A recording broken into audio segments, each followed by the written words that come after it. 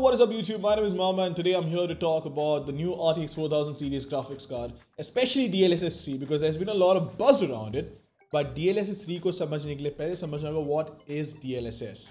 DLSS stands for Deep Learning Super Sampling. Imagine करिए आपको कोई भी game चलानी है 4K, 2K, even 1080p पे तो what D L S S does वो गेम को लेता है, एक लोअर रेजोल्यूशन पे रेंडर करता है उसको, और ए आई की मदद से उस इमेज को अपस्केल करता है। ना वॉट दिस डज इज़ क्योंकि गेम लोअर रेजोल्यूशन पे रेंडर हो रही है it use less resource it gives you more performance and of course it's using A I and all the new tech all new magic to upscale the image so आपको कोई noticeable quality drop भी नहीं होता image के अंदर, and you get a lot more so so about D L S S 3 मैंने आपको super resolution के बारे में तो ऑलरेडी बता दिया है। You been using N V reflex for while now जो आपकी सिस्टम लेटेंसी कम करते हैं। But what makes D L S S three so special is the fact that something called A I frame generation I know it sound very fancy very difficult to understand but trust me on the service level it's incredibly easy to understand but of course जो back in magic है, वो समझना बहुत ज़्यादा मुश्किल है। So the way it work is आप एक फ्रेम ले लीजिए, दूसरा फ्रेम ले लीजिए using optical flow accelerator and motion vectors what it does is between these two frames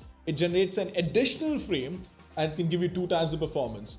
Now, the funny thing is between super resolution and AI frame generation, this technology can generate 7 out of 8 pixels displayed on screen, which means it can potentially give you 4 times the performance, which is unheard of. And the difference is visible. It's more than visible as a matter of fact. जब आप game खेलने बैठते हैं, very demanding titles, right? It's phenomenal. It just feels so good knowing for a fact that now you don't have to worry about your, your CPU bottlenecking your GPU or frames, not enough frames being generated. And the reason why I say that you don't have to worry about your CPU bottlenecking your GPU is because of the fact that कई बार क्या होता है अगर आपका GPU आपके CPU से ज़्यादा तेज है it can generate frames faster than your CPU can process it उसकी वजह से उसको queue में लगाना पड़ता है what DLSS 3 does it it it eliminates the queue completely right so it can generate frames independently of the CPU which even in CPU bound cases, can give you two times the performance.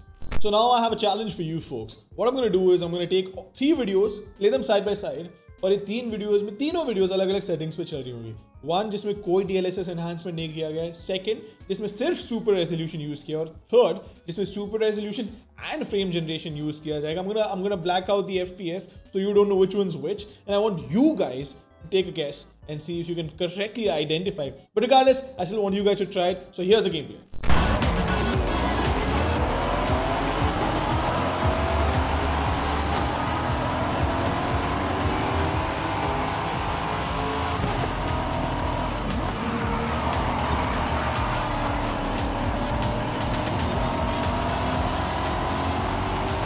I don't know if you guys were able to differentiate between which video was which, but let me tell you, this was a video with no DLSS, no enhancements, absolutely nothing. The game running bare bone on extreme settings. By the way, all these three games, so all the three videos that you see were running on extreme settings. So this was a video with no DLSS.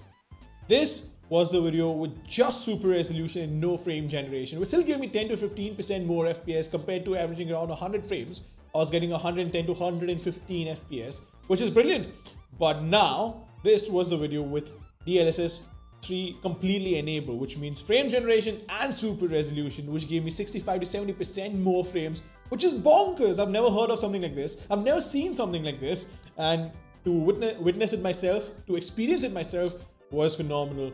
So here's the entire lab for you folks to compare it and see it for yourselves with the numbers, with the visuals and everything.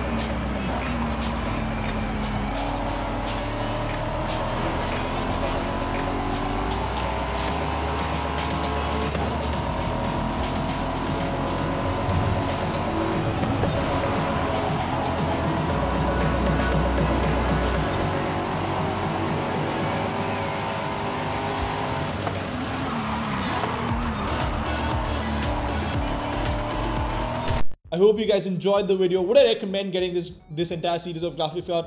Absolutely. If you're heavily invested in DLSS 3 games and the games that support it, I would 10 on 10 recommend it. Games like Microsoft Flight Simulator, Forza Horizon 5, etc.